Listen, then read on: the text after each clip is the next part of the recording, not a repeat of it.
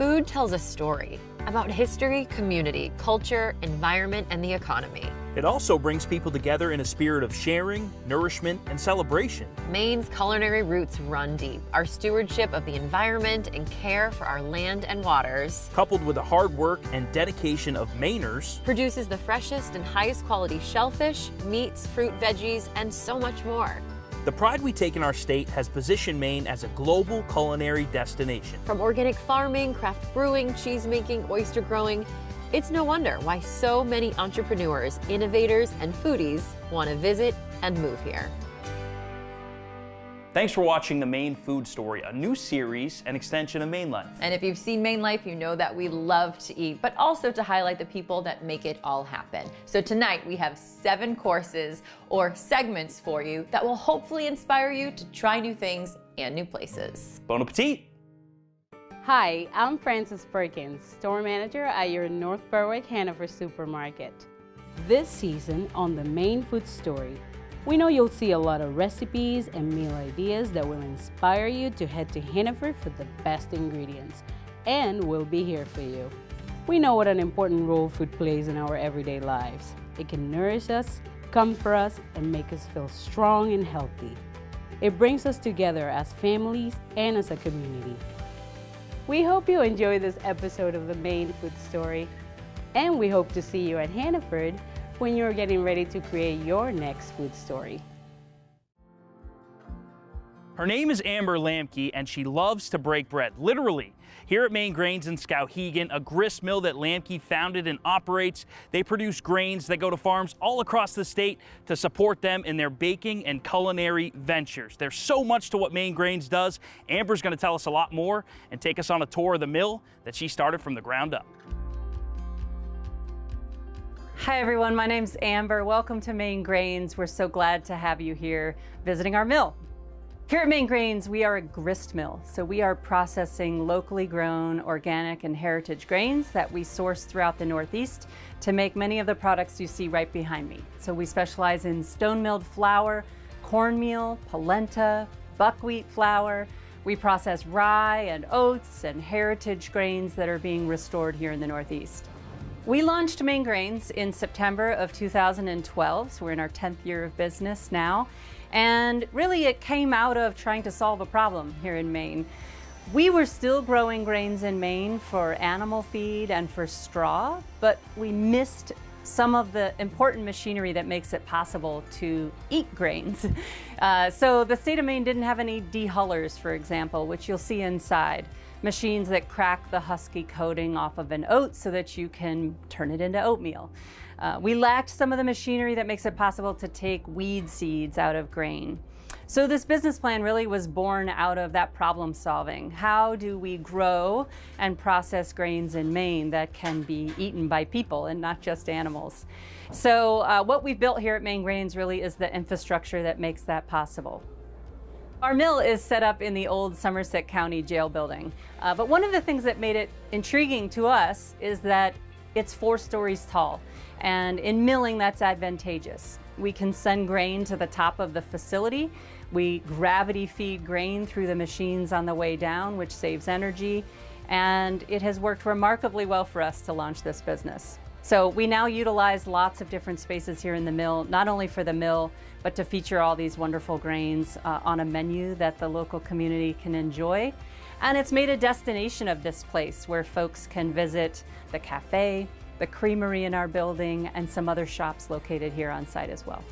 This mill and the business plan really grows out of the early work of the Maine Grain Alliance and founding the Kneading Conference. They were the early conversations back in 2007 about how to revive Maine's grain economy, and Tristan will be here to tell you more about that today. We're honored to be able to continue to support the work of the Maine Grain Alliance by donating 5% of the proceeds from this dry goods shop uh, to the good work and programs of MGA. I'm Tristan Noyes, Executive Director of the Maine Grain Alliance, and I want to thank uh, Maine Grains for sharing this opportunity to share a little bit about what we do. The Maine Grain Alliance began in 2007 with a community group in Skowhegan who gathered around a kitchen table to explore how they could help to create energy around a really important agricultural entity, which is grain. The result of that was the Kneading Conference, which is now in its 15th year and welcomes bakers and oven builders, researchers, chefs from all across the world. And we hope you'll join us at the 15th Annual Kneading Conference. Well, Tristan, thanks again for joining us in Skowhegan. And Connor, pleasure to have you. I mean, this is the best part of it all. Beer made with local grains, this great pizza made with local grains and local cheese, and of course, our brownies. Can't wait to try it. Thank you so much again for the tour. Tristan, it was great to talk to you about Maine Grain Alliance and what you guys are doing. And cheers to Maine Grains and MGA. All right, thanks.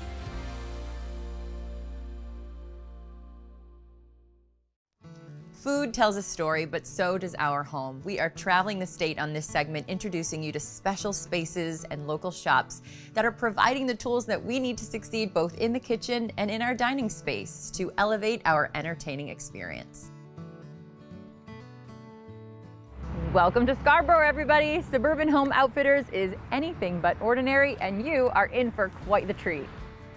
Welcome everybody. We are here in Scarborough, Maine at Suburban Home Outfitters and uh, we're a furniture store that does a lot of furniture and home decor.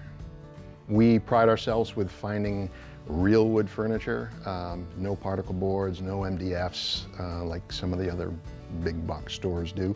All quality furniture and decent prices. In addition to the furniture, we have a lot of outdoor merchandise. We do a lot of the, the recycled or composite Adirondack chairs and tables. For interior, I mean everything from custom buoys and local artist work to signs and funny signs. There's a lot of funny signs around the store. We do have a lot of merchandise in here. We take our time trying to find the right stuff to bring to the store and different stuff. We, we try to find the out of the ordinary type pieces that you don't normally see anywhere else. So, you know, that, that's kind of what we do. One of our big categories, dining room tables and chairs, there's just tons and tons of sizes and uh, you name it, styles. There's just a lot to choose from. Many, many manufacturers. So we are so excited and ready to enjoy dining outside, and this is an example of a great table to do so. Yep, great table, fully composite material, can stay outside year round through the snow, the rain, the sleet, the ice. All the main elements. All the main elements. Well, come shop local, see uh, Jay, Sean, and Patty. Yeah, we're open seven days a week, 10 to 5. Yeah, enjoy.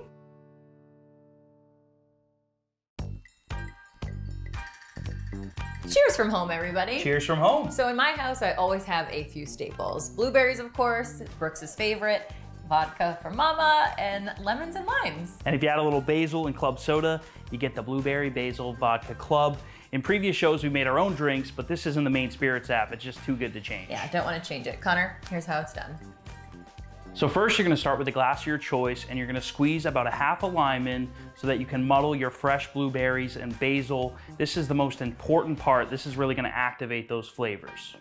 Next, you're gonna add in your vodka of choice and we went with Tito's. Then you're gonna fill your glass all the way up to the top with ice. Make sure it's clear ice. Top it off with your favorite club soda and give it a good stir. Then add your garnishes. We went with a few blueberries on a toothpick and a basil leaf. Well, Connor, it smells good and it includes a few of my favorite things. But most importantly, right, is that clear ice. The clear ice, the good stuff. I mean, look how pretty this drink is with the clear ice. I'm glad my ice is clear. We gotta try it now. Cheers. Cheers.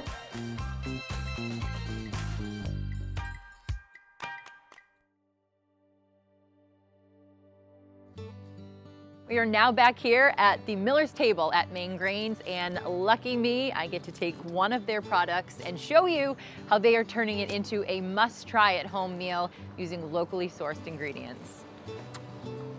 This beautiful spot we're standing in right now is the Miller's Table. It's located on the campus at Maine Grains, and we are a cafe that specializes in sourdough breads and local foods. Erin, we know that you're excited to be here today and taste our delicious breads that are made with local flour. Our flour is available at Hannaford stores. It's great for home bakers. We have a lot of resources available online for people to check out and to start creating their masterpieces. Come on down to the Miller's Table at Maine Grains where you will find fresh baked sourdough breads, wood fired pizza made with the good crust pizza dough, soups made with locally sourced ingredients and perfect for dipping our delicious bread into. And don't forget to take home some of our fresh baked treats like cookies, hand pies, granola, And while you're on campus, you can stop by the Crooked Face Creamery and try some of her delicious cheeses. I first met Amy at the Skowhegan Farmers Market, which is hosted right in our parking lot. She was a vendor that was just starting out selling homemade ricotta using whole milk. And we just grew a relationship. She's always been part of my story here in Maine. And today we will be featuring her raclette cheese, and we'll be using it over a wood fire and on some fresh sourdough baked bread. Hello everybody, I'm Amy, the owner of Crooked Face Creamery. Welcome to my cheese shop. We are right next door to the Miller's Table. So I'm from Skowhegan. I, I grew up here on a dairy farm just down the road. Left and went to school and found my way back and uh, heard there was a lot going on in the local food movement and wanted to be involved and Amber was one of the first people I connected with. I've been making cheese now for 12 years and we make seven different styles of cheese here at Crooked Face Creamery. We make our award-winning whole milk ricotta, smoked ricotta, in a variety of herbed flavors, fresh mozzarella, cheese curds, a few washed rind cheeses, our buttercup Havarti, and our bonfire raclette. The synergy here is so great. The Miller's Table uses our cheeses on their menu, from their wood-fired pizzas to their sandwiches and occasional cheese boards, and we're gonna work with Eric today on putting together a beautiful raclette board for you guys. So on our board, we've got some local ingredients, uh, nice little fingerling potatoes, some fresh greens from Dig Deep Farm that I get right here at the farmer's market on Saturdays. We've got cured meats, prosciutto, um, soppressata, some pickles and pickled beets. Great, and don't forget about the Yes. fresh baked sourdough bread. Yes, the key ingredient.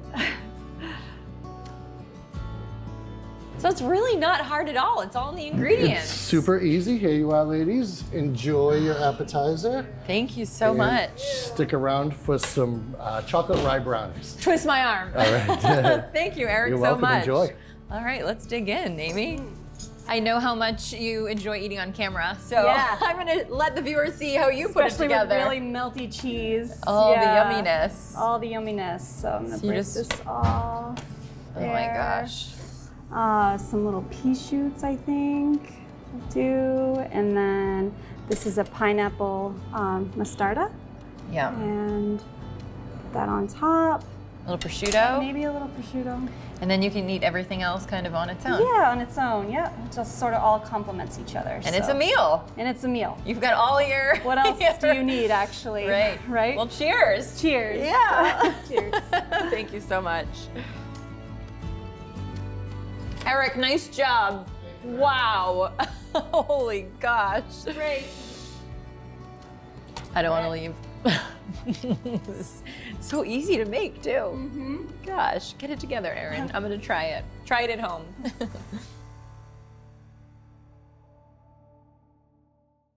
As we've been taught, it is a no no to talk religion and politics at the dinner table. That's true. So each week instead, we're going to be bringing you a little Maine trivia. When my husband and Vanessa and I get together, it gets real competitive. So, no Googling. We're going to put the answers on at the end of the show. Here we go.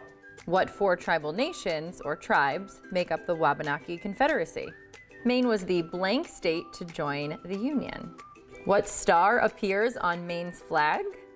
What was the name of the minor league baseball team that played its home games in Old Orchard Beach in the mid 1980s? Hi everybody, it's Ari with my mom, Chef Dory Mills, and I love ketchup. I put it on everything, but today we're, going to be trying some new seasonings. Yes, believe it or not, Ari, there are some other things out there other than ketchup. So let's tell them about our favorite sauces. Taste of Inspirations is one of our favorite lines. We love using the bourbon honey mustard to marinate pork chops in and the garlic ginger teriyaki on chicken. It's a great way to easily add a lot of flavor to your dish. Mom, don't forget about our everything bacon seasoning. We love it. We do. At the Everything Bacon Seasoning, we sprinkle on avocado toast, bagels, and even scrambled eggs. Lastly, we have our Nature's Promise seasoning line, and you have to try the sweet potato seasoning mix. It's such a great smoky, sweet, heat combination. You're gonna love it. Tonight is all about trying something new.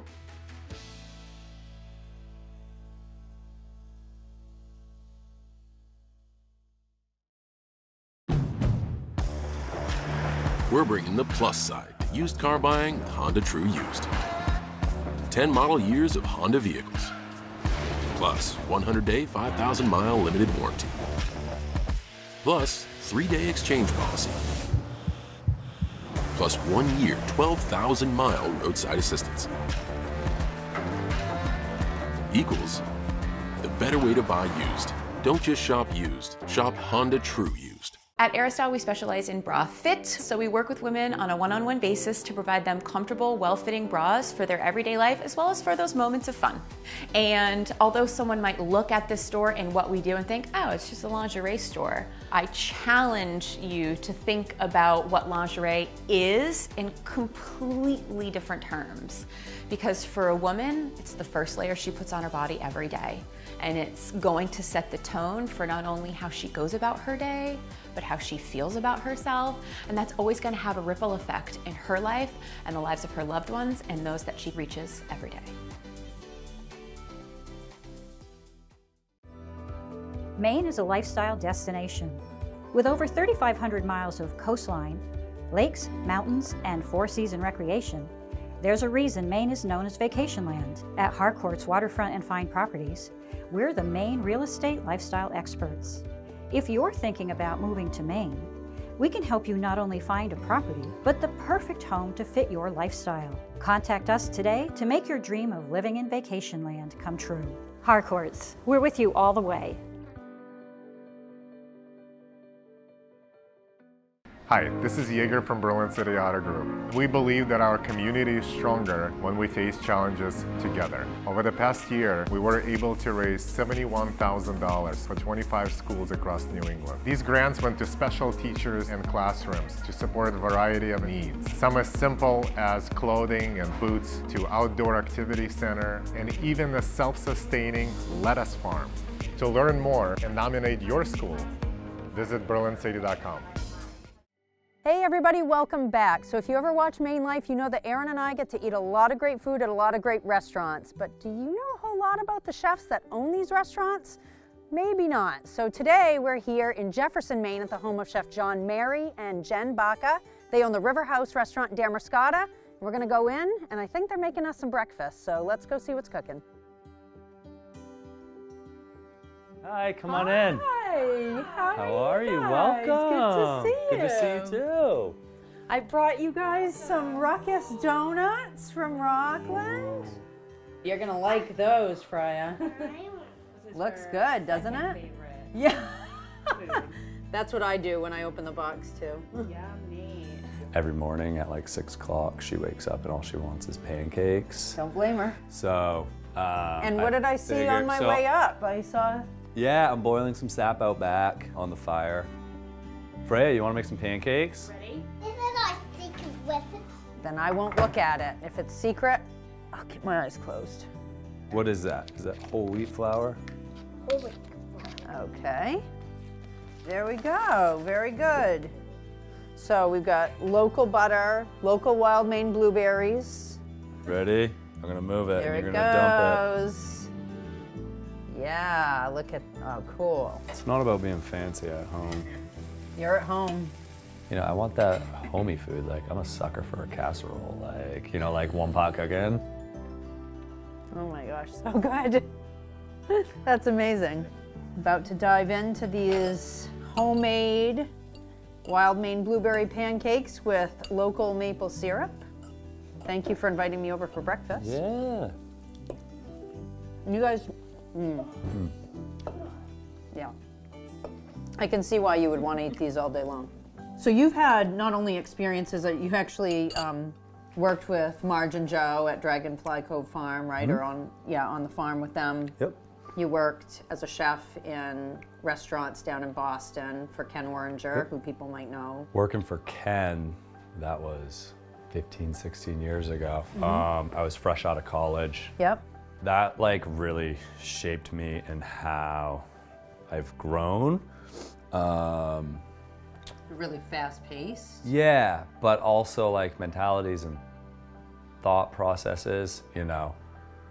Part of that is like stuff outside of the kitchen and, and outside of like food, just like life in general. Like, you know, I kind of, I basically threw away like a golden opportunity um, as part of my story with like drinking and everything. Mhm. Um, and then so like I bounced around a couple places in, in Boston, working for Ken, and then eventually I worked for Tony Maws, who was a Ken Oringer product. Mhm. Um, and then, but it was like I basically burned every bridge down there and ruined a whole career. I've done that too a Um, couple times. yeah, you know, and it's like, But, you know, you could I learn change from those exactly, experiences, exactly. So right? that's like kind Yeah. of, you know, I moved back home. I grew up in Bath. I moved back home to Bath Yep. to do the like geographical cure, if you will. I was very fortunate to have some of the people around me at that point in my life who kind of like steered me in the right direction and really saved me. Well, thank you so much again. Absolutely. Really appreciate it. Absolutely. Thank you for having me be part of this. All right, cool. Can't wait to go back to your restaurant.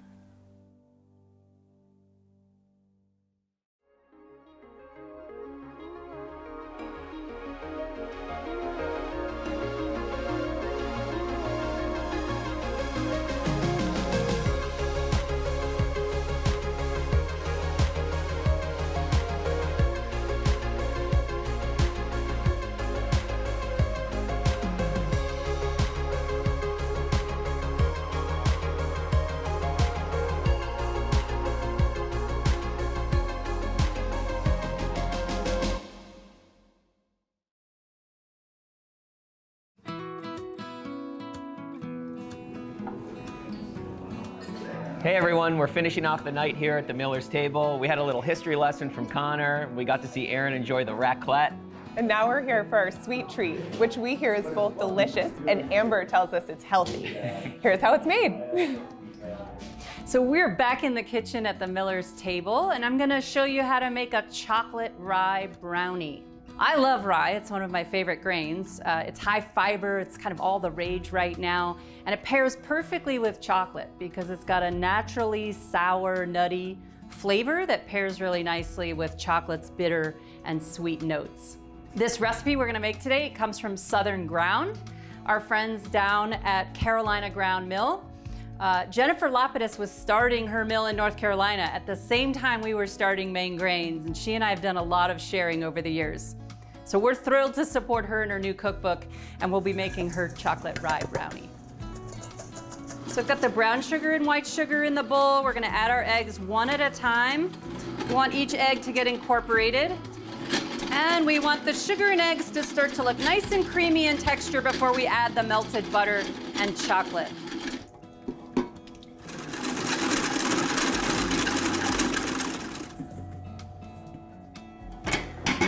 Okay, there we go. It's all incorporated. Let's have a look. This batter is gonna go into a quarter size sheet pan that we use here at the Miller's table. This makes it easy to cut nice slices. So this batter will go into the oven at about 350 degrees and bake for 25 minutes. Most pastry benefits from a little bit more salt than you might think. It really offsets the flavor of the rye and the chocolate. And it comes out looking like this. So now we're gonna have Heather and Matt try one of our warm chocolate rye brownies out front, warmed up in the wood-fired oven and served with Gifford's ice cream. Wow, you must enjoy that, Matt. Well, it's absolutely delicious. And it's healthy too. Come on by and check out the Miller's table. And if you can't make it in, make sure you check out their website for all their recipes for all their other delicious sweet treats. Cheers.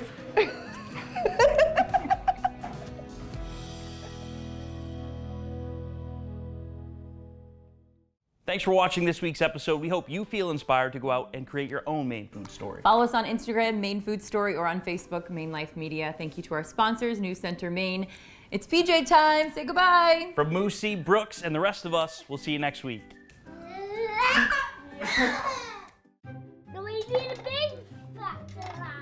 Big Oh, we need the big spatula? That's a big one. That's it. Hi, everyone. Hi, everyone. A great experience with our carnate. You did so well. You did so well. You did so well, and mommy did it. This is so delicious. Yeah, it's warm and the ice cream is wonderful. I mean, this is awesome. He's just as rigid on the dance floor. I know, right? Okay. That was it. Yay!